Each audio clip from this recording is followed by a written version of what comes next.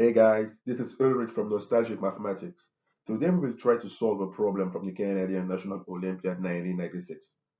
Alpha, beta, and gamma are the roots of the polynomial x cubed minus x minus 1. And we want to compute 1 plus alpha over 1 minus alpha plus 1 plus beta over 1 minus beta plus 1 plus gamma over 1 minus gamma. In this video, I'm going to show you two ways of solving this problem, and then I'll let you choose the one you prefer. If you are new here, do not forget to subscribe.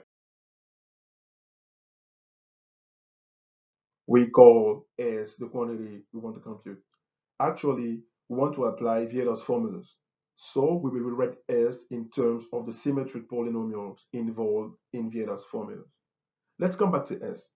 We see that all the terms have the form 1 plus x over 1 minus x. So we focus on 1 plus x over 1 minus x. We want to get rid of the x of the numerator. So we had 1 here and minus 1 here. Why? In order to have a multiple of 1 minus x, which is x minus 1.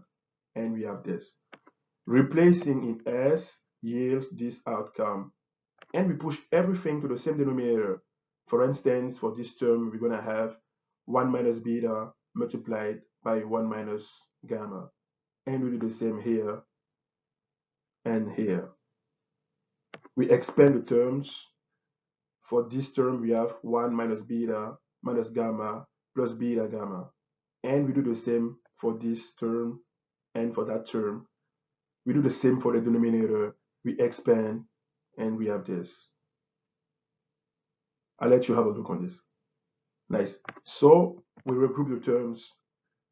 We have 1 plus 1 plus 1, which is 3, and 1 alpha, 1 alpha, so it is minus 2 alpha, the same beta, beta, gamma, gamma, alpha, beta,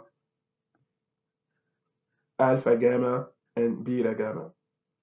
We do the same here. Now we notice the symmetric polynomials, this one in bold, this one in red, and this one in green. We, recall that alpha, beta, and gamma are the roots of this polynomial. So applying Vieta's formulas, we have this. The sum is minus 0. And this polynomial equals minus 1. And the multiplication of all the roots is minus minus 1, which is 1. We replace in S, and we have this. The numerator will be 3 minus 1, which is 2, and the denominator will be 1 minus 1 minus 1, which is minus 1. And then we have this, and this part is minus 4, and S is minus 7. So we have the result. But I'm going to show you an even faster way to compute the denominator. Actually, we got that the denominator is minus 1. But given that alpha, beta, and gamma are the roots of this polynomial, we can factor as this. With x equals 1, we have 1 minus 1 minus 1, which is minus 1, equals 1 minus alpha, 1 minus beta, 1 minus gamma. And we have the denominator is minus 1, as we have here.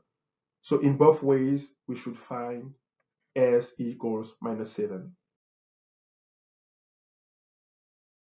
We keep the same setup, and then s equals this using this result. So factoring gives us this. Because of this form, we introduce the function fx equals 1 over 1 minus x. Actually, what we will do is to build a polynomial with roots f alpha, f beta, and f gamma. Now, we pick t a root of the original polynomial, which is x cubed minus x minus 1 as this, and we set z equal ft. Actually, z is one of these numbers. So we can rewrite t as a function of z as follows. Now, since t is a root of this polynomial, we can rewrite this. We replace t by its expression in terms of z, and we have that. So we develop this to have that outcome, and we can group the terms negative 3 over z, and 1 over z to have this. We now multiply by negative z cubed to have this. So we know that f alpha, f beta, and f gamma are therefore the roots of these polynomials because of this. So applying Vieta's formula, f alpha plus f beta plus f gamma equals minus 2. So we can compute S because this is f alpha plus f beta plus f gamma. So S equals 2 times minus 2 minus 3. So S equals minus 7 and we are done. Thank you for your attention. Again, do not forget to subscribe, like, and post your comments. Bye.